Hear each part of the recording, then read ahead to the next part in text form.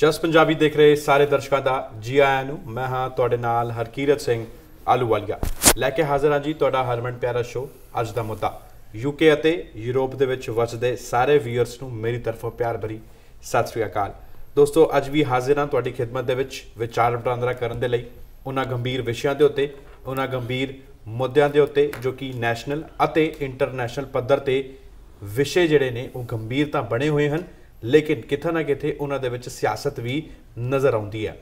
ਔਰ ਜਦ ਅਜਿਹੀਆਂ ਗੱਲਾਂ ਹੁੰਦੀਆਂ ਹਨ, ਤਾਂ ਫਿਰ ਬਣਦਾ ਹੈ ਇਹ ਪਲੇਟਫਾਰਮ, ਇਹ ਕੋਰਟ ਜਿੱਥੇ ਗੱਲ ਤੁਸੀਂ ਵੀ ਸੁਣਾਉਂਦੇ ਹੋ, ਤਰਕ ਤੁਸੀਂ ਵੀ ਰੱਖਦੇ ਹੋ ਔਰ ਉਹਨਾਂ ਪੈਰੋਕਾਰਾਂ ਦੇ ਵੀ ਤਰਕ ਅਸੀਂ ਇੱਥੇ ਰੱਖਦੇ ਹਾਂ ਤਾਂ ਕਿ ਇੱਕ ਸੰਵਾਦ ਹੋ ਸਕੇ, ਪਬਲਿਕ ਡੋਮੇਨ ਦੇ ਉੱਤੇ ਵਿਚਾਰ ਵਟਾਂਦਰਾ ਹੋ ਸਕੇ ਔਰ ਤੁਸੀਂ ਆਪਣੇ ਕਨਕਲੂਜਨ ਕੱਢ ਕੇ ਉਹ ਆਵਾਜ਼ ਉਹਨਾਂ ਪੈਰੋਕਾਰਾਂ ਦੇ ਕੰਨਾਂ ਤੱਕ ਪਹੁੰਚਾਓ।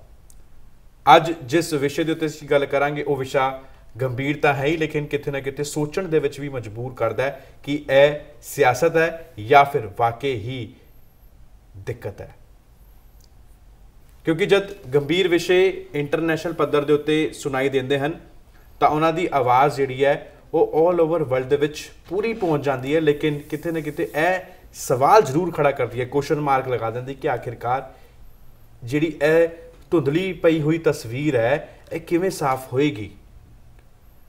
ਅੱਜ ਇੱਕ ਪਾਸੇ ਜਿੱਥੇ ਅਸੀਂ ਇੰਡੀਆ ਨੂੰ ਵਰਲਡ ਦੀ ਸਭ ਤੋਂ ਵੱਡੀ ਡੈਮੋਕ੍ਰੈਟਿਕ ਦੇ ਵਿੱਚ, ਡੈਮੋਕ੍ਰੇਸੀ ਮੰਨਦੇ ਆ ਲੋਕਤੰਤਰ ਜਿਹੜਾ ਜਿਹੜਾ ਉੱਥੇ ਦਾ ਸੰਵਿਧਾਨ ਹੈ, ਉਹਨੂੰ ਸਭ ਤੋਂ ਵੱਡਾ ਮੰਨਦੇ ਆ ਲੇਕਿਨ ਅੱਜ ਇਸ ਸੰਵਿਧਾਨ ਦੇ ਵਿੱਚ, ਅੱਜ ਇਸ ਲੋਕਤੰਤਰ ਦੇ ਵਿੱਚ, ਪਿਛਲੇ ਕਈ ਸਾਲਾਂ ਤੋਂ ਮੀਡੀਆ ਰਿਪੋਰਟਸ ਦੇ ਵਿੱਚ ਇਹ ਕਿਉਂ ਨਜ਼ਰ ਆਉਂਦਾ ਹੈ ਕਿ ਧੱਕਾ ਹੋ ਰਿਹਾ? ਜਿਹੜੇ ਨਿਰਪੱਖ ਹੋ ਕੇ ਆਪਣੀ ਗੱਲਾਂ ਲਿਖਦੇ ਹਨ, ਪੱਤਰਕਾਰ, ਪੇਪਰਾਂ ਦੇ ਵਿੱਚ, ਜਿਹੜੇ ਨਿਰਪੱਖ ਹੋ ਕੇ ਆਪਣੀ ਗੱਲ ਨੂੰ ਕਹਿੰਦੇ ਹਨ, ਪੱਤਰਕਾਰ, ਟੀਵੀ ਦੇ ਵਿੱਚ, ਕੀ ਉਹਨਾਂ ਦੀ ਆਵਾਜ਼ ਨੂੰ, ਕੀ ਉਹਨਾਂ ਦੀ ਸੋਚ ਨੂੰ, ਕੀ ਉਹਨਾਂ ਦੀ ਆਈਡੀਓਲੋਜੀ ਨੂੰ ਬੰਦ ਕਰਨ ਦੀ, ਜਾਂ ਫਿਰ ਧਮਕਾਉਣ ਦੀ, ਜਾਂ ਫਿਰ ਖਤਮ ਕਰਨ ਦੀ ਰਾਜਨੀਤੀ ਹੋ ਰਹੀ ਹੈ, ਸਿਆਸਤ ਹੋ ਰਹੀ ਹੈ। ਜਾਂ ਫਿਰ ਉਹਨਾਂ ਦੇ ਨਾਲ ਧੱਕਾ ਹੋ ਰਿਹਾ। ਇਹ ਗੱਲ ਅਕਸਰ ਅਸੀਂ ਸੁਣਦੇ ਹਾਂ ਕਿ ਜਦ ਪੰਜਾਬ ਦੇ ਵਿੱਚ ਕਿਸੇ ਵੀ ਪ੍ਰਿੰਟ ਮੀਡੀਆ ਨੇ, ਕਿਸੇ ਵੀ ਇਲੈਕਟ੍ਰੋਨਿਕ ਮੀਡੀਆ ਨੇ ਜਦ ਆਪਣੀ ਆਵਾਜ਼ ਬੁਲੰਦ ਕਰਨ ਦੀ ਕੋਸ਼ਿਸ਼ ਕੀਤੀ ਜਾਂ ਫਿਰ ਨਿਰਪੱਖ ਗੱਲ ਦਰਸ਼ਕਾਂ ਦੇ ਸਾਹਮਣੇ ਲਿਆਉਣ ਦੀ ਕੋਸ਼ਿਸ਼ ਕੀਤੀ, ਜਾਂ ਤਾਂ ਉਹ ਟੀਵੀ ਜਿਹੜਾ ਚੈਨਲ ਸੀਗਾ ਉਹ ਬੰਦ ਹੋ ਗਿਆ, ਜਿਹੜੀ ਅਖਬਾਰ ਸੀਗੀ ਉਹਨੂੰ ਆਪਣੇ ਆਪਣੀ ਏਜੰਸੀ ਨੂੰ ਬੰਦ ਕਰਨਾ ਪਿਆ ਜਾਂ ਫਿਰ ਉਹਨੂੰ ਕੇਬਲ ਤੋਂ ਹੀ ਹਟਾ ਦਿੱਤਾ ਗਿਆ। ਮੈਂ ਹਜੇ ਸਿਰਫ ਪੰਜਾਬ ਦੀ ਗੱਲ ਕਰ ਰਿਹਾ, ਮੈਂ ਭਾਰਤ ਦੇ ਵਿੱਚ ਵਸਦੇ ਹੋਰ ਸਿਆਸਤਦਾਨਾਂ ਦੀ ਨਹੀਂ ਜਾਂ ਪੰਜਾਬ ਦੇ ਵਿੱਚ ਜਿਹੜੇ ਹੋਰ ਲੋਕ ਨੇ ਉਹਨਾਂ ਦੀ ਨਹੀਂ ਜਾਂ ਫਿਰ ਭਾਰਤ ਦੇ ਵਿੱਚ ਜਿਹੜੇ ਹੋਰ ਸੂਬੇ ਨੇ ਉਹਨਾਂ ਦੀ ਗੱਲ ਨਹੀਂ ਕਰ ਰਿਹਾ। ਮੈਂ ਗੱਲ ਸਿਰਫ ਇੱਥੇ ਕਰ ਰਿਹਾ ਮੀਡੀਆ ਹਾਊਸਸ ਦੀ। ਕਿ ਆਖਿਰਕਾਰ ਕਿਉਂ ਧੱਕਾ ਮੀਡੀਆ ਹਾਊਸਸ ਦੇ ਨਾਲ ਹੁੰਦਾ ਜਦ ਉਹ ਆਪਣੀ ਗੱਲ ਨਿਰਪੱਖ ਤਰੀਕੇ ਨਾਲ ਕਰਦੇ ਹਨ? ਪਿਛਲੇ ਲੰਬੇ ਸਮੇਂ ਤੋਂ ਅਸੀਂ ਤੁਹਾਡੇ ਸਾਹਮਣੇ ਕਈ ਮੁੱਦੇ ਲੈ ਕੇ ਆਏ ਹਾਂ, ਜਿਨ੍ਹਾਂ ਦੇ ਉੱਤੇ ਅਸੀਂ ਵਿਚਾਰ ਵਟਾਂਦਰਾ ਕੀਤਾ ਔਰ ਇਹ ਜਿਹੜਾ ਮੰਚ ਹੈ, ਇਹ ਮੰਚ ਕਿਸੇ ਦਾ ਵੀ ਹਿਮਾਇਤੀ ਨਹੀਂ ਹੈਗਾ। ਇਹ ਖੁੱਲਾ ਮੰਚ ਹੈ ਔਰ ਅਸੀਂ ਸਾਰਿਆਂ ਨੂੰ ਸੱਦਾ ਦਿੰਨੇ ਆ ਔਰ ਕਹਿੰਨੇ ਵੀ ਕਿ ਤੁਸੀਂ ਆਓ, ਆਪਣੇ ਪੱਖ ਦੀ ਗੱਲ ਕਰਨੀ, ਆਪਣੇ ਪੱਖ ਦੀ ਗੱਲ ਕਰੋ। ਔਰ ਜੇਕਰ ਤੁਹਾਨੂੰ ਲੱਗਦਾ ਹੈ ਕਿ ਇੱਥੇ ਇਹ ਜਿਹੜੀ ਨਿਊਜ਼ ਹੈ, ਉਹ ਗਲਤ ਫਲਾਈ ਜਾ ਰਹੀ ਹੈ, ਤਾਂ ਉਹਨੂੰ ਆ ਕੇ ਤੁਸੀਂ ਆਥੈਂਟੀਕੇਟ ਕਰਕੇ ਸਾਨੂੰ ਸੱਚ ਦੱਸੋ ਕਿ ਇਹ ਸੱਚ ਹੈ, ਕਿਉਂਕਿ ਇਹ ਜਿਹੜਾ ਮੰਚ ਹੈ ਤੁਹਾਡੇ ਲਈ, ਉਹਨਾਂ ਹਿਮਾਇਤੀਆਂ ਲਈ, ਉਹਨਾਂ ਸਿਆਸਤਦਾਨਾਂ ਦੇ ਲਈ ਔਰ ਸਾਡੇ ਦਰਸ਼ਕਾਂ ਦੇ ਲਈ ਖੋਲਿਆ ਗਿਆ। ਜਿੱਥੇ ਆ ਕੇ ਰੋਜ਼ਾਨਾ ਤੁਸੀਂ ਆਪਣੀ ਗੱਲਬਾਤ ਕਰਦੇ ਹੋ ਔਰ ਵਿਚਾਰ ਸਾਡੇ ਸਾਹਮਣੇ ਲੈ ਕੇ ਆਉਂਦੇ ਹੋ। ਜਸ ਬ੍ਰੌਡਕਾਸਟਿੰਗ ਦੀ ਟੀਮ ਦਾ, ਸਾਡੇ ਸੀਈਓ ਦਾ, ਇੱਕ ਹੀ ਟੀਚਾ ਹੈਗਾ ਕਿ ਲੋਕਾਂ ਦੇ ਕੋਲ ਨਿਰਪੱਖ ਗੱਲ ਜਾਣੀ ਚਾਹੀਦੀ ਹੈ, ਕਿਸੇ ਦੀ ਹਿਮਾਇਤ ਜਿਹੜੀ ਆ, ਉਹ ਨਹੀਂ ਹੋਣੀ ਚਾਹੀਦੀ। ਔਰ ਜੋ ਵੀ ਇਸ ਸ਼ੋਅ ਨੂੰ ਹੋਸਟ ਕਰਦਾ ਹੈ, ਖਾਸ ਤੌਰ ਤੇ ਉਹਨਾਂ ਨੂੰ ਇਹੀ ਹਦਾਇਤਾਂ ਹੈਗੀਆਂ that you should be neutral. You don't have to take anybody side, ਔਰ ਜੋ ਅਸੀਂ ਕਰਦੇ ਵੀ ਹਾਂ। ਮੈਂ ਕਈ ਵਾਰੀ ਇਸ ਪ੍ਰੋਗਰਾਮ ਦੇ ਵਿੱਚ, ਕਈ ਵਾਰੀ ਇਸ ਮੁੱਦੇ ਦੇ ਵਿੱਚ ਅਸੀਂ ਵੱਖ-ਵੱਖ ਗੱਲਾਂ ਨੂੰ ਉਠਾਇਆ।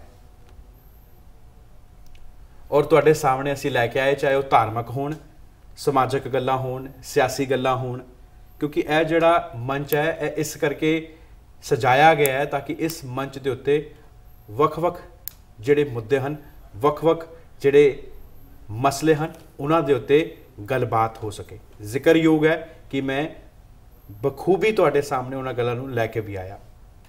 ਲੇਕਿਨ ਕਾਬਲ ਗੌਰ ਹੈ ਕਿ ਅਸੀਂ ਅੱਜ ਕੀ ਉਸ ਪਾਸੇ ਤੁਰ ਵੀ ਰਹੇ ਹਾਂ। ਕਿ ਅੱਜ ਸਾਡੇ ਸਿਆਸਤਦਾਨ ਉਹਨਾਂ ਗੱਲਾਂ ਨੂੰ ਸੋਚ ਵੀ ਰਹੇ ਹਨ? ਗੱਲ ਇੱਥੇ ਆਉਂਦੀ ਹੈ ਕਿ ਜਦ ਇੱਕ ਨਵਾਂ ਭਵਿੱਖ ਕਿਸੇ ਨੂੰ ਦਿਖਦਾ ਤਾਂ ਉਹ ਕਿਤੇ ਨਾ ਕਿਤੇ ਉਹਦੀ ਹਿਮਾਇਤ ਜ਼ਰੂਰ ਕਰਦਾ ਹੈ। ਕਿ ਸਾਨੂੰ ਲੱਗ ਜਾਂਦਾ ਨਾ, ਸਾਨੂੰ ਕਦੀ ਕਵਾਰ ਪਤਾ ਲੱਗ ਜਾਂਦਾ ਕਿ ਨਹੀਂ, ਇਸ ਨਵੀਂ ਸ਼ਖਸੀਅਤ ਦੇ ਵਿੱਚ ਮੈਨੂੰ ਕੁਝ ਸਕਾਰਾਤਮਕ ਊਰਜਾ ਦਿਖਾਈ ਦੇ ਰਹੀ ਹੈ। ਔਰ ਜਦ ਕਿਸੇ ਦੇ ਵਿੱਚ ਪੋਜ਼ਿਟਿਵਿਟੀ ਦਿਖਾਈ ਦਿੰਦੀ ਹੈ, ਤਾਂ ਅਸੀਂ ਆਪਣੇ ਆਪ ਉਸ ਦੇ ਵੱਲ ਖਿੱਚ ਜਾਂਦੇ ਹਾਂ। ਇਹੀ ਹੋਇਆ ਭਾਰਤ ਦੇ ਵਿੱਚ। ਪਿਛਲੇ ਲੰਬੇ ਸਮੇਂ ਤੋਂ ਇੰਡੀਆ ਦੇ ਵਿੱਚ ਦੋ ਪਾਰਟੀਆਂ ਨੇ ਰਾਜ ਕੀਤਾ ਭਾਰਤ ਦੀ ਆਜ਼ਾਦੀ ਤੋਂ ਬਾਅਦ। ਇੱਕ ਇੰਡੀਅਨ ਨੈਸ਼ਨਲ ਕਾਂਗਰਸ ਦੂਜੀ ਭਾਰਤੀ ਜਨਤਾ ਪਾਰਟੀ ਤੇ ਬਾਕੀ ਜਿਹੜੀ ਵੱਖ-ਵੱਖ ਹੋਰ ਰੀਜਨਲਸ ਪਾਰਟੀਆਂ ਹੈਗੀਆਂ, ਜਿਨ੍ਹਾਂ ਦਾ ਆਪਣੇ ਸੂਬਿਆਂ ਦੇ ਵਿੱਚ ਦਮ ਹੈਗਾ, ਜੋਸ਼ ਹੈਗਾ, ਲੋਕ ਉਹਨਾਂ ਨੂੰ ਵੱਖ-ਵੱਖ ਸੂਬਿਆਂ ਦੇ ਵਿੱਚ ਰੀਜਨਲ ਪਾਰਟੀ ਦੇ ਵੰਜੋਂ ਪਹਿਚਾਣਦੇ ਹਨ। ਉਹਨਾਂ ਨੂੰ ਵੀ ਆਪਣੀ ਨਵੀਂ ਪਛਾਣ ਬਣਾਉਣ ਦੀ ਇੱਕ ਲੋਕਾਂ ਨੇ ਉਹਨਾਂ ਨੂੰ, ਉਹਨਾਂ ਦੀ ਹਿਦਾਇਤ ਉਹਨਾਂ ਦੀ ਹਮਾਇਤ ਕੀਤੀ ਔਰ ਉਹਨਾਂ ਨੂੰ ਆਪਣੀ ਗੱਲ ਰੱਖਣ ਦੀ ਔਰ ਆਪਣੇ ਵਿਚਾਰ ਰੱਖਣ ਦੀ ਇੱਕ ਪਲੇਟਫਾਰਮ ਦਿੱਤਾ ਵੱਖ-ਵੱਖ ਸੂਬਿਆਂ ਦੇ ਵਿੱਚ, ਚਾਹੇ ਉਹ ਰੀਜਨਲ ਪਾਰਟੀਆਂ ਹੋਣ। ਲੇਕਿਨ ਇੱਕ ਸਮਾਂ ਮੈਨੂੰ ਯਾਦ ਹੈ 2013 ਦੇ ਵਿੱਚ। ਇੱਕ ਬਹੁਤ ਵੱਡੀ ਕ੍ਰਾਂਤੀ ਆਈ ਇੰਡੀਆ ਦੇ ਵਿੱਚ ਕਰਪਸ਼ਨ ਨੂੰ ਲੈ ਕੇ। ਉਹਦੀ ਅਗਵਾਈ ਕੀਤੀ ਅੰਨਾ ਹਜ਼ਾਰੇ ਨੇ, ਅਗਰ ਤੁਹਾਨੂੰ ਯਾਦ ਹੋਣਾ ਤੇ ਜਦ ਅੰਨਾ ਹਜ਼ਾਰੇ ਨੇ ਅਗਵਾਈ ਕੀਤੀ, ਤਾਂ ਕਈ ਲੋਕਾਂ ਨੇ ਸਾਥ ਦਿੱਤਾ, ਕਿਉਂਕਿ ਲੱਗਿਆ ਸੀ ਨਾ ਕਿ ਪੋਜ਼ਿਟਿਵ એનર્ਜੀ ਹੈ, ਸਕਾਰਾਤਮਕ ਸੋਚ ਦਾ ਬੰਦਾ ਹੈ। ਇਹਦੇ ਮਗਰ ਤੁਰਾਂਗੇ ਤਾਂ ਕਿਥੇ ਨਾ ਕਿਥੇ ਭਾਰਤ ਦੀ ਭਲਾਈ ਦੇ ਲਈ ਜਿਹੜੀ ਕਰਪਸ਼ਨ ਭਾਰਤ ਦੇ ਵਿੱਚ ਇੱਕ ਕੈਂਸਰ ਦੀ ਤਰ੍ਹਾਂ ਵੜ ਚੁੱਕੀ ਹੈ, ਉਹ ਸ਼ਾਇਦ ਖਤਮ ਹੋ ਸਕਦੀ ਹੈ। ਲੋਕਾਂ ਨੇ ਸਾਥ ਦਿੱਤਾ। ਜਦ ਲੋਕਾਂ ਨੇ ਸਾਥ ਦਿੱਤਾ, ਤਾਂ ਫਿਰ ਉਸ ਅੰਦੋਲਨ ਨੂੰ ਸਫਲ ਬਣਾਉਣ ਦੇ ਲਈ ਕਈ ਲੋਕਾਂ ਨੇ ਅੰਨਾ ਹਜ਼ਾਰੇ ਦਾ ਵੀ ਸਾਥ ਦਿੱਤਾ। ਉਹਨਾਂ ਵਿੱਚੋਂ ਸੀਗੇ ਇੱਕ ਦਿੱਲੀ ਦੇ ਮੁੱਖ ਮੰਤਰੀ ਅਰਵਿੰਦ ਕੇਜਰੀਵਾਲ, ਮਨੀਸ਼ ਸਿਸੋਦੀਆ ਪ੍ਰਸ਼ਾਂਤ ਭੂਸ਼ਣ, ਵੱਖ-ਵੱਖ ਹੋਰ ਸੰਜੇ ਕੁਮਾਰ, ਸਾਰਿਆਂ ਨੇ ਇੱਕ ਟੀਮ ਗਠਨ ਕੀਤੀ, ਨਵੀਂ ਪਾਰਟੀ ਬਣਾਤੀ, ਆਮ ਆਦਮੀ ਪਾਰਟੀ। ਲੋਕਾਂ ਦੀ ਪਾਰਟੀ, ਆਮ ਲੋਕਾਂ ਦੀ ਪਾਰਟੀ, ਤੁਹਾਡੀ ਪਾਰਟੀ। ਵਿਦੇਸ਼ਾਂ ਦੇ ਵਿੱਚ ਵਸਦੇ, ਚਾਹੇ ਉਹ ਸਿੱਖ ਡਾਇਸਪੋਰਾ ਹੋਏ, ਚਾਹੇ ਉਹ ਸਾਡਾ ਪੰਜਾਬੀ ਭਾਈਚਾਰਾ ਹੋਏ, ਚਾਹੇ ਉਹ ਸਾਡੇ ਭਾਰਤੀ ਹੋਣ, ਉਹਨਾਂ ਨੂੰ ਆਸ ਸੀਗੀ ਕਿ ਆਮ ਆਦਮੀ ਪਾਰਟੀ ਹੁਣ ਭਵਿੱਖ ਹਿੰਦੁਸਤਾਨ ਦਾ, ਇੰਡੀਆ ਦਾ, ਭਾਰਤ ਦਾ ਵੱਖਰਾ ਕਰ ਦੇਗੀ। ਉਸ ਤੋਂ ਬਾਅਦ ਜਦ ਦਿੱਲੀ ਦੇ ਵਿੱਚ ਉਹ ਆਪਣੀ ਸਰਕਾਰ ਬਣਾਉਣ ਦੇ ਹਨ ਫੁੱਲ ਮੈਜੋਰਿਟੀ ਨਹੀਂ ਮਿਲਦੀ। ਲੇਕਿਨ 39 ਦਿਨਾਂ ਬਾਅਦ ਆਪਣੀ ਅਸਤੀਫਾ ਦੇਣ ਤੋਂ ਬਾਅਦ ਫਿਰ ਜਦ ਚੋਣਾਂ ਹੁੰਦੀਆਂ ਹਨ ਦਿੱਲੀ ਦੇ ਵਿੱਚ, ਫਿਰ ਉਹ ਆਪਣੀ ਸਰਕਾਰ ਬਣਾ ਲੈਂਦੇ ਹਨ ਕਿਉਂਕਿ ਉਹਨਾਂ ਨੂੰ ਸਪੋਰਟ ਸੀਗੀ 올 ਓਵਰ ਵਰਲਡ ਦੇ ਵਿੱਚ ਹਰ ਕਿਸੇ ਤੋਂ। ਸਪੋਰਟ ਤੁਸੀਂ ਕੀਤੀ, ਸਪੋਰਟ ਉੱਥੇ ਹੀ ਵਸਦੇ ਲੋਕਾਂ ਨੇ ਕੀਤੀ। ਜਦ ਫੁੱਲ ਮੈਜੋਰਿਟੀ ਤੋਂ ਅਰਵਿੰਦ ਕੇਜਰੀਵਾਲ ਜਿੱਤ ਕੇ ਸਾਹਮਣੇ ਆਇਆ 67 ਸੀਟਸ ਜਦ ਉਹਨੂੰ ਦਿੱਲੀ ਦੇ ਵਿੱਚ ਮਿਲੀਆਂ, ਤਾਂ ਬਕਾਇਦਾ ਦਿੱਲੀ ਦਾ ਮੁੱਖ ਮੰਤਰੀ ਉਹਨਾਂ ਨੂੰ ਨਵਾਜਿਆ ਗਿਆ, ਬਣਾਇਆ ਗਿਆ। ਉਮੀਦ ਸੀਗੀ ਕਿ ਇਹ ਦਿੱਲੀ ਦੀ ਸਫ਼ਾਈ ਕਰੇਗਾ, ਕਿਉਂਕਿ ਅਗਰ ਭਾਰਤ ਦੀ ਰਾਜਨੀਤੀ ਕਿੱਥੋਂ ਸ਼ੁਰੂ ਹੁੰਦੀ ਹੈ, ਤਾਂ ਉਹ ਦਿੱਲੀ ਦੇ ਗਲਿਆਰਿਆਂ ਤੋਂ ਸ਼ੁਰੂ ਹੁੰਦੀ ਹੈ। ਤਾਂ ਉੱਥੋਂ ਦੀ ਮੁੱਖ ਮੰਤਰੀ ਬਣਾਇਆ ਗਿਆ। 2016 ਮੈਨੂੰ ਯਾਦ ਹੈ ਜਦ ਪੰਜਾਬ ਵਿਧਾਨ ਸਭਾ ਚੋਣਾਂ ਨਜ਼ਦੀਕ ਸੀਗੀਆਂ, ਤਾਂ ਫਿਰ ਹਵਾ ਚਲੀ ਦਿੱਲੀ ਤੋਂ ਪੰਜਾਬ ਦੇ ਵੱਲ। ਉਸ ਹਵਾ ਦੇ ਵਿੱਚ ਆਮ ਆਦਮੀ ਪਾਰਟੀ ਦੇ ਆਗੂ ਨਜ਼ਰ ਆਏ ਕਿ ਹੁਣ ਉਹ ਦਿੱਲੀ ਤੋਂ ਤਿਆਰੀ ਕਰ ਰਹੇ ਨੇ ਪੰਜਾਬ ਦੀ। 2017 ਦੇ ਵਿੱਚ ਚੋਣਾਂ ਦਾ ਬਿਗੁਲ ਵਜਿਆ। ਔਰ ਜਦ ਚੋਣਾਂ ਦਾ ਬਿਗੁਲ ਵਜਿਆ ਤਾਂ ਤੀਜੀ ਨਵੀਂ ਪਾਰਟੀ ਬਣ ਕੇ ਪੰਜਾਬ ਦੇ ਵਿੱਚ ਆਈ ਆਮ ਆਦਮੀ ਪਾਰਟੀ। ਜਦ ਤੀਜਾ ਵੱਡਾ ਫਰੰਟ ਬਣ ਕੇ ਆਇਆ ਤਾਂ ਪੰਜਾਬ ਦੇ ਲੋਕਾਂ ਨੇ ਕਿਹਾ ਕਿ ਹਾਂ, ਸਾਨੂੰ ਇੰਡੀਆ ਦਾ ਤਾਂ ਪਤਾ ਨਹੀਂ, ਲੇਕਿਨ ਹੁਣ ਕੁਝ ਪੰਜਾਬ ਦਾ ਬਣ ਸਕਦਾ। ਸਿੱਖ ਡਾਇਸਪੋਰਾ ਨੂੰ ਤੁਹਾਨੂੰ ਲੱਗਿਆ, ਤੁਹਾਨੂੰ ਆਪ ਨੂੰ ਲੱਗਿਆ ਕਿ ਹਾਂ, ਹੁਣ ਸਾਨੂੰ ਇਹ ਲੱਗਦਾ ਹੈ ਕਿ ਪੰਜਾਬ ਨੇ ਜਿਹੜੇ ਸੰਤਾਪ ਹੰਡਾਏ ਹਨ, ਉਹਨਾਂ ਤੋਂ ਛੁੱਟੀ ਕਰਵਾ ਦੇਗਾ ਅਰਵਿੰਦ ਕੇਜਰੀਵਾਲ ਜਾਂ ਫਿਰ ਆਮ ਆਦਮੀ ਪਾਰਟੀ। ਛੁੱਟੀ ਦਾ ਤਾਂ ਮੈਨੂੰ ਪਤਾ ਨਹੀਂ, ਲੇਕਿਨ ਆਮ ਆਦਮੀ ਪਾਰਟੀ ਤੋਂ ਕਈ ਅਹੁਦੇਦਾਰਾਂ ਦੀ ਛੁੱਟੀ ਹੋ ਗਈ ਜਾਂ ਫਿਰ ਉਹਨਾਂ ਦੀ ਛੁੱਟੀ ਕਰ ਦਿੱਤੀ ਗਈ। ਇਹ ਵੀ ਅਸੀਂ ਆਮ ਆਦਮੀ ਪਾਰਟੀ ਦੇ ਵਿੱਚ ਵੇਖਣ ਨੂੰ ਸਾਨੂੰ ਮਿਲਿਆ। ਛੁੱਟੀ ਤੋਂ ਮੈਨੂੰ ਯਾਦ ਆਇਆ ਸੁੱਚਾ ਸਿੰਘ ਛੋਟੇਪੁਰ। ਛੁੱਟੀ ਤੋਂ ਮੈਨੂੰ ਯਾਦ ਆਇਆ ਧਰਮਵੀਰ ਗਾਂਧੀ। ਛੁੱਟੀ ਤੋਂ ਮੈਨੂੰ ਯਾਦ ਆਇਆ ਹਾਲ ਫਿਲਹਾਲ ਦੇ ਵਿੱਚ ਸੁਖਪਾਲ ਖਹਿਰਾ। ਤੇ ਜਦ ਇੱਕ ਸਪੋਰਟ ਲੋਕਾਂ ਦਾ ਮਿਲਿਆ,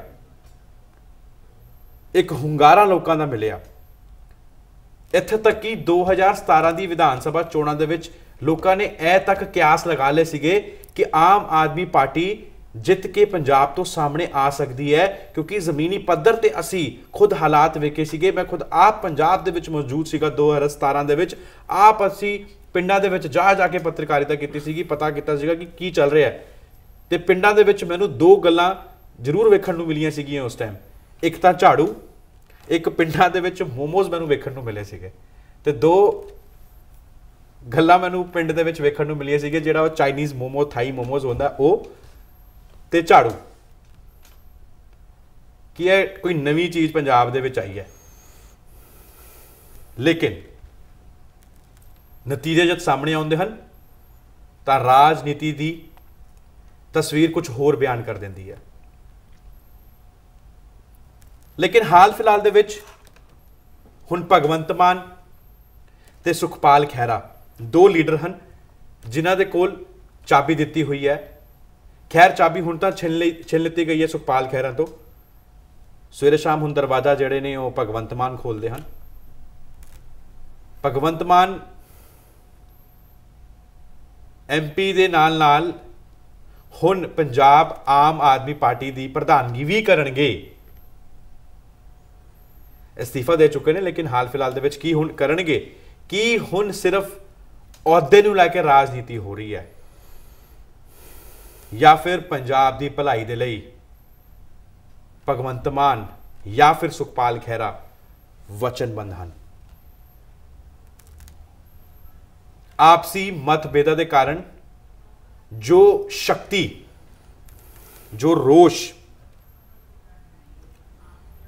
ਇੱਕ ਪਿਆਰ ਸਤਭਾਵਨਾ ਜਿਹੜੀ ਲੋਕਾਂ ਦੇ ਵਿੱਚ ਸੀਗੀ ਆਮ ਆਦਮੀ ਪਾਰਟੀ ਨੂੰ ਲੈ ਕੇ ਅੱਜ ਉਹ ਕਿੱਥੇ ਹੈ? ਉਹਦਾ ਹੀ ਨਤੀਜਾ ਹੈ ਕਿ ਹੁਣ ਆਮ ਆਦਮੀ ਪਾਰਟੀ ਨੂੰ ਸਿਆਸੀ ਗਤੀਵਿਧੀਆਂ ਦਾ ਵੀ ਸਾਹਮਣਾ ਕਰਨਾ ਪੈ ਰਿਹਾ ਹੈ। ਪਹਿਲੇ ਲੋਕਾਂ ਦਾ ਦਿਲ ਤੋੜਿਆ, ਹੁਣ ਲੋਕਾਂ ਦਾ ਜਦ ਦਿਲ ਟੁੱਟਿਆ ਤਾਂ ਉਸ ਤੋਂ ਬਾਅਦ ਵਿਰੋਧੀ ਧਿਰਾਂ ਨੇ ਵੀ ਸ਼ਿਕੰਜਾ ਕੱਸ ਲਿਆ ਆਮ ਆਦਮੀ ਪਾਰਟੀ ਦੇ ਉੱਤੇ। ਕਿਉਂਕਿ ਉਹਨਾਂ ਨੂੰ ਵੀ ਹੁਣ ਮੌਕਾ ਮਿਲ ਗਿਆ ਕਿ ਵਾਕਈ ਆਮ ਆਦਮੀ ਪਾਰਟੀ ਔਰ ਆਮ ਆਦਮੀ ਪਾਰਟੀ ਦੇ ਕਨਵੀਨਰ ਅਰਵਿੰਦ ਕੇਜਰੀਵਾਲ ਲੋਕਾਂ ਨੂੰ ਕੁਝ ਹੋਰ ਕਹਿ ਕੇ ਗਏ ਸੀ ਕਰ ਕੁਝ ਹੋਰ ਰਹੇ ਨੇ। ਅੰਦੋਲਨ ਦੇ ਵਿੱਚ ਨਾ ਇੱਕ ਤਸਵੀਰ ਜਦ ਕੋਈ ਸ਼ੁਰੂ ਕਰਦਾ ਹੈ ਨਾ, ਤਾਂ ਉਹਦੀ ਤਸਵੀਰ ਕੁਝ ਹੋਰ ਹੁੰਦੀ ਹੈ, ਜਦ ਅੰਦੋਲਨ ਹੁੰਦਾ ਹੈ। ਭੁੱਖੇ ਪੇਟ ਰਹਿਣਾ ਨਾਰੇਬਾਜ਼ੀ ਕਰਨੀ, ਪਿਆਸੇ ਰਹਿਣਾ, ਮਰ ਮਿਟਣਾ, ਮਰ ਮਿਟਣ ਦੀ ਸਦ, ਜਿਹੜੀ ਭਾਵਨਾ ਦਿਲ ਦੇ ਵਿੱਚ ਲੈ ਕੇ ਜਾਣਾ, ਪ੍ਰਦਰਸ਼ਨ ਦੇ ਟਾਈਮ ਸਿਰਫ ਇਹ ਸੋਚ ਹੁੰਦੀ ਸੀ ਕਿ ਸਾਨੂੰ ਭਾਰਤ ਨੂੰ ਸਾਫ਼ ਕਰਨਾ ਹੈ, ਪੰਜਾਬ ਨੂੰ ਸਾਫ਼ ਕਰਨਾ ਹੈ। ਪੰਜਾਬ ਚਾਹੁੰਦਾ ਹੈ ਇਮਾਨਦਾਰ ਬੰਦਾ, ਪੰਜਾਬ ਚਾਹੁੰਦਾ ਹੈ ਨਸ਼ੇ ਤੋਂ ਆਜ਼ਾਦੀ, ਕਿਉਂਕਿ ਇੱਕ ਗੁੱਸਾ ਹੁੰਦਾ ਜਦ ਤੁਸੀਂ ਅੰਦੋਲਨ ਸਟਾਰਟ ਕਰਦੇ ਹੋ। ਤਾਂ ਤੁਸੀਂ ਇੱਕ ਫੋਟੋ ਵੇਖੀ ਹੋਣੀ ਹੈ 2017 ਦੇ ਵਿੱਚ ਅਰਵਿੰਦ ਕੇਜਰੀਵਾਲ ਦੀ। ਉਹ ਤੁਸੀਂ ਗੂਗਲ ਦੇ ਵਿੱਚ ਪਾਓ 2 2017 ਅਰਵਿੰਦ ਕੇਜਰੀਵਾਲ। ਔਰ ਹਾਲ ਫਿਲਹਾਲ ਦੇ ਵਿੱਚ ਸਾਲ ਹੀ ਹੋਇਆ। ਲਗਭਗ ਡੇਢ ਕੁ ਸਾਲ ਹੋ ਗਿਆ ਹੋਣਾ ਅਰਵਿੰਦ ਕੇਜਰੀਵਾਲ 2019 ਇੱਕ ਤਾਂ ਫੇਸ ਦੇ ਵਿੱਚ, ਇੱਕ ਗੱਲਾਂ ਦੇ ਵਿੱਚ, ਜਨੂਨ ਦੇ ਵਿੱਚ, ਭਾਵਨਾ ਦੇ ਵਿੱਚ ਸਹਿਨ ਸ਼ਕਤੀ ਦੇ ਵਿੱਚ ਤੁਸੀਂ ਆਪ ਫ਼ਰਕ ਖੁਦ ਵੇਖਣਾ ਔਰ ਅਗਰ ਤੁਸੀਂ ਚਾਬੀ ਦਿੰਦੇ ਹੋ ਪੰਜਾਬ ਦੀ ਕਿਸੇ ਬੰਦੇ ਨੂੰ ਜੋ ਪੰਜਾਬ ਦੀ ਆਵਾਜ਼ ਨੂੰ ਉਠਾਉਂਦਾ ਹੈ, ਜੋ ਪੰਜਾਬ ਦੀ ਹਿਮਾਇਤ ਕਰਦਾ ਹੈ, ਜੋ ਪੰਜਾਬ ਦੇ ਮਸਲਿਆਂ ਨੂੰ ਚੰਗੀ ਤਰ੍ਹਾਂ ਜਾਣਦਾ ਹੈ, ਤੁਸੀਂ ਉਹ ਚਾਬੀ ਕਿਸੇ ਹੋਰ ਤੋਂ ਲੈ ਕੇ ਉਹ ਚਾਬੀ ਤੁਸੀਂ ਦੇ ਦਿੰਦੇ ਹੋ। ਇੱਕ ਉਸ ਪ੍ਰਧਾਨ ਨੂੰ ਜੋ ਸਿਰਫ ਚਾਬੀ ਜਦ ਦਰਵਾਜ਼ਾ ਖੋਲਦਾ ਹੈ, ਤਾਂ ਅੰਦਰੋਂ ਦੀ ਚੁਟਕਲੇ ਨਿਕਲਦੇ ਨੇ। ਆਖਿਰਕਾਰ ਕਿਸ ਦਿਸ਼ਾ ਵੱਲ ਚਲੀ ਗਈ ਆਮ ਆਦਮੀ ਪਾਰਟੀ ਕੀ ਸਿਰਫ ਪੰਜਾਬ ਦੇ ਲੋਕ ਹੁਣ ਚੁਟਕਲਿਆਂ ਦੀ ਰਾਜਨੀਤੀ ਇਹਨਾਂ ਸਿਆਸਤਦਾਨਾਂ ਤੋਂ ਜਾ- ਲੈਣਾ ਚਾਹੁੰਦੇ ਹਨ ਜਾਂ ਫਿਰ ਵਾਕਈ ਹੀ ਅਸੀਂ ਗੰਭੀਰ ਹਾਂ ਵਾਕਈ ਹੀ ਅਰਵਿੰਦ ਕੇਜਰੀਵਾਲ ਗੰਭੀਰ ਹਨ ਅਗਰ ਜੇਕਰ ਉਹ ਸੋਚਦੇ ਹਨ ਕਿ ਉਹ ਵਚਨਬੰਦ ਹਨ ਪੰਜਾਬ ਦੇ ਮੁੱਦਿਆਂ ਦੇ ਲਈ ਤਾਂ ਕਿਉਂ ਚਾਬੀ ਉਹਨਾਂ ਨੇ ਸੁਖਪਾਲ ਖਹਿਰਾ ਤੋਂ ਖੋ ਕੇ ਭਗਵੰਤ ਮਾਨ ਦੇ ਹੱਥ ਦਿੱਤੀ। ਅੱਜ ਕਿਉਂ ਚਾਰੇ ਪਾਸੇ ਅਰਵਿੰਦ ਕੇਜਰੀਵਾਲ ਨੂੰ ਲੈ ਕੇ ਗੱਲਾਂ ਹੋ ਰਹੀਆਂ ਹਨ? ਅੱਜ ਕਿਉਂ ਕੇਂਦਰ ਦੇ ਵਿੱਚ ਬੈਠੀ ਬੀਜੇਪੀ ਸਰਕਾਰ ਨੂੰ ਵੀ ਮੌਕਾ ਮਿਲ ਗਿਆ ਕਿ ਦੱਸੋ ਤੁਹਾਨੂੰ ਚੰਦਾ ਕਿੱਥੋਂ ਆ ਰਿਹਾ? ਸਾਨੂੰ ਦੱਸੋ ਕਿ ਤੁਹਾਡੇ ਜਿਹੜੀ ਡਿਸਕ੍ਰਿਪੈਂਸੀਜ਼ ਆ ਰਹੀਆਂ ਹਨ ਵੈਬਸਾਈਟ ਦੇ ਵਿੱਚ ਕੁਝ ਹੋਰ ਦਿਖਾਇਆ ਜਾ ਰਿਹਾ ਹੈ, ਲੇਕਿਨ ਤੁਹਾਡੇ ਕੋਲ ਪੈਸਾ ਇੰਨਾ ਪਿਆ ਹੈ। ਆਖਿਰਕਾਰ ਇੰਨਾ ਪੈਸਾ ਕਿੱਥੋਂ ਬਣ ਰਿਹਾ ਹੈ? ਇਹ ਸਵਾਲ ਵੀ ਜਿਹੜੇ ਨੇ ਇਲੈਕਸ਼ਨ ਕਮਿਸ਼ਨ ਨੇ ਆਮ ਆਦਮੀ ਪਾਰਟੀ ਨੂੰ ਪੁੱਛੇ ਹਨ ਔਰ 20 ਦਿਨਾਂ ਦੇ ਵਿੱਚ ਰਿਪੋਰਟ ਵੀ ਸਬਮਿਟ ਕਰਨ ਦੇ ਲਈ ਇਲੈਕਸ਼ਨ ਕਮਿਸ਼ਨ ਨੇ ਕਿਹਾ। ਇਹਦਾ ਫ਼ਰਕ ਆਮ ਆਦਮੀ ਪਾਰਟੀ ਨੂੰ ਪੰਚਾਇਤੀ ਚੋਣਾਂ ਪੰਜਾਬ ਦੇ ਵਿੱਚ ਵੀ ਪੈ ਸਕਦਾ ਹੈ। ਇਹੀ ਅੱਜ ਦਾ ਮੁੱਦਾ ਔਰ ਵਿਚਾਰ ਵਟਾਂਦਰਾ ਕਰਨ ਦੇ ਲਈ ਅੱਜ ਮੇਰੇ ਨਾਲ ਸਟੂਡੀਓ ਦੇ ਵਿੱਚ ਮੌਜੂਦ ਹਨ ਨਵੀਨ ਸ਼ਰਮਾ, ਜੋ ਕਿ ਅਕਸਰ ਸਾਡੇ ਨਾਲ ਜੁੜਦੇ ਹਨ। ਜਦ ਪੰਜਾਬ ਦੀ ਸਿਆਸਤ ਦੀ ਗੱਲ ਹੁੰਦੀ ਹੈ, ਜਦ ਪੰਜਾਬ ਦੇ ਵਿੱਚ ਸਿਆਸੀ ਲੋਕਾਂ ਦੀ ਗੱਲ ਹੁੰਦੀ ਹੈ, ਤਾਂ ਅਸੀਂ ਇਹਨਾਂ ਨੂੰ ਜ਼ਰੂਰ ਲੈ ਕੇ ਆਨੇ ਔਰ ਇਹਨਾਂ ਦੇ ਵਿਚਾਰ ਔਰ ਇਹਨਾਂ ਦੀ ਓਪੀਨੀਅਨ ਔਰ ਐਨਾਲਿਸਿਸ ਕਰਦੇ ਹਾਂ ਕਿ ਕਿਸ ਦਿਸ਼ਾ ਵੱਲ ਤੁਰ ਰਹੀ ਹੈ ਆਮ ਆਦਮੀ ਪਾਰਟੀ ਔਰ ਕਿਸ ਦਿਸ਼ਾ ਵੱਲ ਤੁਰ ਰਿਹਾ ਹੈ ਪੰਜਾਬ ਦਾ ਭਵਿੱਖ। ਇਸ ਬ੍ਰੇਕ ਤੋਂ ਉਸ ਪਾਰ।